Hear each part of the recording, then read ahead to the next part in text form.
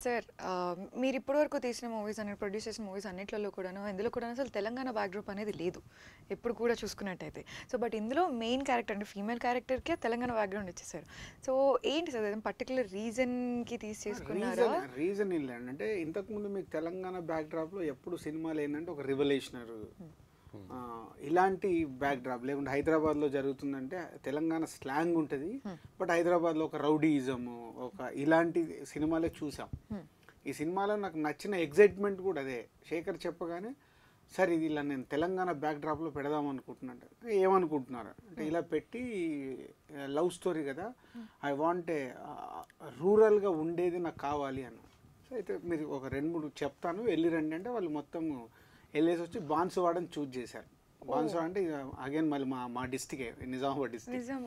So వాళ్ళు అక్కడికి వెళ్తే సార్ అక్కడ మీకు షూటింగ్ అది ఏం ప్రాబ్లం ఉండదు బట్ అది ఓన్ చేసుకోండి అని దే వర్క్ అన్నట్లు ఒక వన్ టూ మంత్స్. ఓకే. అక్కడ అబ్జర్వ్ చేయడము. సో ఇక్కడ రెబల్ అమ్మాయి అయితే ఎలా ఉంటుంది? చదువుకున్న అమ్మాయి కావాలి ఫుల్ తెలంగాణ మాట్లాడాలి. ఆ, అంటే చదువుకున్న వాళ్ళు సాధారణంగా ఏంటంటే కొంచెం ఆ స్లాంగ్ మారిపోద్ది.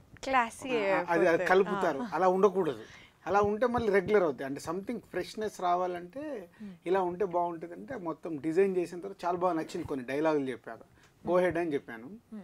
అప్పుడు ఇక క్యారెక్టర్ తను గ్రోత్ పెంచుకుంటూ వెళ్తే ఫైనల్గా ఒక తెలంగాణ బ్యాక్డ్రాప్లో ఒక అమ్మాయికి ఒక లవ్ స్టోరీ ఇంతకు ముందు చూసినా మనం ఎప్పుడు లవ్ స్టోరీ చూడలేదు. ఒక లవ్ స్టోరీలో ఒక ఫ్రెష్నెస్ వచ్చింది. ఓకే. కాంట్రాస్ట్ ఒక అమెరికా నుంచి వచ్చే అబ్బాయి.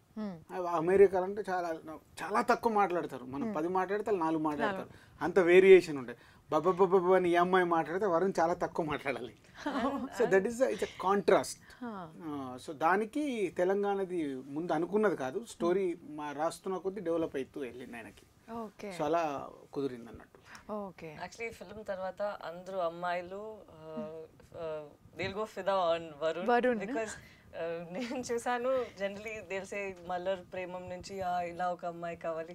బట్ నేను నేను చూసిన నుంచి పీపుల్ విల్ ఫాల్ పెళ్ళి పెళ్ళి చేసుకోవడానికి నీలాంటి క్యారెక్టర్ ఎవరు యాక్చువల్లీ ఈ ఫిల్మ్ తర్వాత తెలివి లైక్ ఓ మై గాడ్ అమ్మాయి బూత్లు నాకు అదే చాలా భయం. అక్కడ ఎడిట్లో చూస్తే తను ఏదో హీరోయిక్ ఫిగర్ లాగా ఉన్నారు నేను అయ్యో పాపం ఒక వెరీ స్వీట్ అబ్బాయి. Everybody fall in love with him అంటే లైక్ అదే ఎప్పుడు లవ్ స్టోరీ అయితే అమ్మాయో అబ్బాయో ఒక ఎమోషన్ ట్రావెల్ దొరకాలి. ఈ సినిమాలో ఏంటంటే వరుణ్ది ఎమోషన్ లైక్ తొలి ప్రేమలో పవన్ కళ్యాణ్ గారిది ఉన్నట్టు మీకు ఆర్యాలో బన్నీ క్యారెక్టర్ ఎమో ఫీల్స్ తోనే ఉంటుంది. అలా వరుణ్ది ఫీల్ అయ్యే క్యారెక్టర్ అమ్మాయి రెబల్ క్యారెక్టర్ అయితే వరుణ్ ఫీల్ అవుతూ దట్ ఎమోషన్ సో యూజువల్గా సార్ ఇట్లాంటి ఆన్సర్ అంతా కూడా మేము ఉల్టా వింటూ ఉంటాము. అంటే తనది డామినేటింగ్ గా జనరల్గా మన సొసైటీలో ఉండేది జనరల్గా రివర్స్. అబ్బాయి డామినేటింగ్ ఉంటాడు అమ్మాయి కొంచెం తక్కువ ఉంటుంది. ఎమోషన్గా ఎమోషనల్గా ఫీల్ అయ్యేది ఎక్కువ గర్ల్స్ ఫీల్ అవుతారు. అబ్బాయిలు ఓవర్ లుక్ చేస్తుంటారు ఇక్కడ రివర్స్ రివర్స్ మీ తొలి ప్రేమలో కూడా అలాగే ఉంటుంది.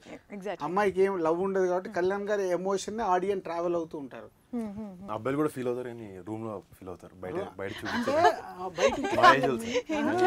ఫీలింగ్ ఉంటది బట్ ఓవర్కమ్ చేయడానికి ఫ్రెండ్స్ దగ్గరికి వెళ్ళిపోవడము ఎక్కడికి వెళ్ళడము uh. అమ్మాయిలకు ఆ స్కోప్ ఉండదు.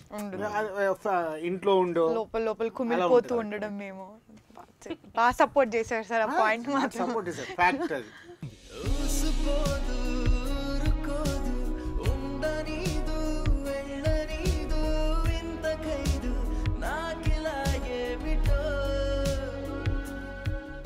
అతనితో ఈడ సగం సగం ఉండలేను.